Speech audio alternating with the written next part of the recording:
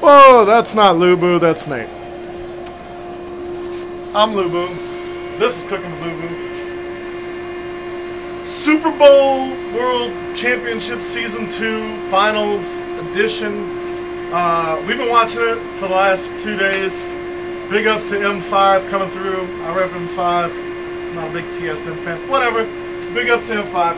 Uh, what I'm going to show you today is what I call Caitlyn's Yordle Traps.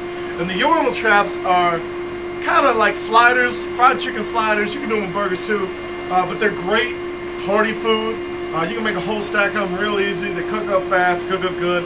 Uh, make them. They're great for a party. They're great for like a season two championship on the 13th. M5's gonna win it kind of party. Uh, so that's what I want to show y'all today. I got a couple different variations, three different variations. One of those trays. Uh, that's curry, uh, ranch the board, jalapeno. The jalapeno is good. Uh, I like them all. So what I got here is some. Uh, these are some uh, pre-cooked uh, fried chicken patties. You can get these at you know Sam's Club or Walmart if that's closer, or Piggly Wiggly. I don't know what the fuck you live next to. Uh, but any major grocery store, you go to the freezer section, you can get some of these. I use them because they're super easy and they don't take any time at all to cook. And they're not that bad. I mean, you know, compromise. Uh, go through my ingredients here real quick. I got my ranch dressing bottle. I got my honey barbecue, as per label. Sriracha hot chili sauce, the sexiest uh, cock sauce. I got some curry powder. This is organic curry powder. I like that. Uh, some diced jalapeno peppers, uh, some bacon, and then I got my toasted bread, uh, Swiss cheese, Swiss cheese, provolone cheese, and some cheddar cheese, shredded cheddar. Uh, you can use whatever kind of cheddar. Uh, as always, Cooking with Lubu is brought to you by Chicken and a Biscuit. If you don't like chicken and a biscuit, you probably think Hitler was an okay guy. That's messed up, man. That's messed up. So.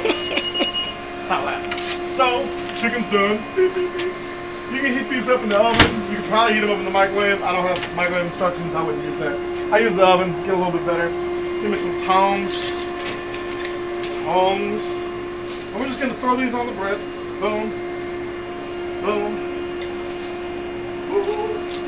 Got my bread. I'm going to put these actually back on the sheet because what I'm going to do is I'm going to melt the cheese on in the oven. Get a nice cook on them. So I got some sriracha. Boom.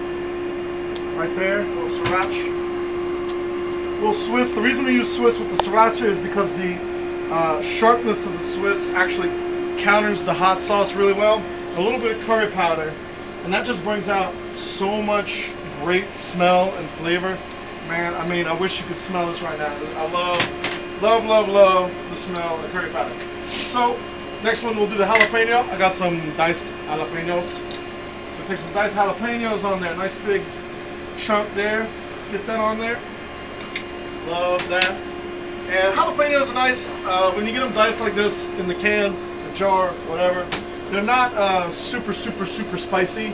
Uh, but they do add a little bit of heat and a little bit of sweetness that's just fantastic. Uh, can't go wrong with that.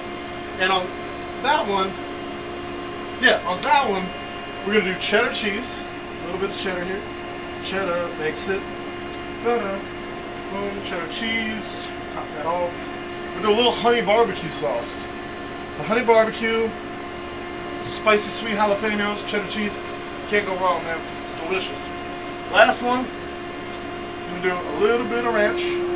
Not too much ranch. Ranch is strong, so you don't need a whole lot of that. Unless you just really fucking love ranch dressing. I mean, I like it, but I'm already fat. Fat. We got bacon and bacon bits. This is uh, some ground up bacon. You know, just like your normal bacon, just ground up. And on that one, we're gonna put some provolone. Provolone, you don't know it, is what your cheese, uh, your string cheese is made of. When you eat string cheese as a child, you never know, it's provolone. So, it's delicious. We're going to take these three bad boys, we're going to put them in there. We're going to heat them up for a little bit. Uh, I don't know, what are we going to talk about? ARAM. If you play ARAM, don't, don't dodge. It's ARAM. All random, all mid all random, all mid. Don't dodge. You're an ass. You make the game last forever. There's no reason to do that. It's a jerk move. You're playing all random to get better at a random champion with a random team comp. If it's un, if it's a one-sided game, guess what? It's a one-sided game. You, you, you learn through struggling, through adversity. You don't learn just by, oh look, we got Nidalee and Heimerdinger. It's gonna be a face roll. Wee! What's fun in that? You don't learn nothing there. So that's my rant on that. Uh, boom, we come out hot, melty, cheesy, jalapeno-y, whatever. Cool so we take that top, boom, one, two, and I'm using toasted buttered bread because I like it. You could use, you know, hamburger bun. You can get like Brötchen, which is like a German style hard roll, and do like, uh, you know, bratwurst, mustard, yellow mustard, something like that, anything. Uh, so there's nothing but options here. And you know, Yordles, love these things, easy to catch, you bait a trap, put that bad boy in there. You got Teemo, headshot, boom, no more Teemo, delete Teemo. And that's it. So real easy, real simple. Uh, good luck to M5 in the tournament because they're going to win. Uh, sucks to be UTSM. Try harder next time. And that's it. Have a good night.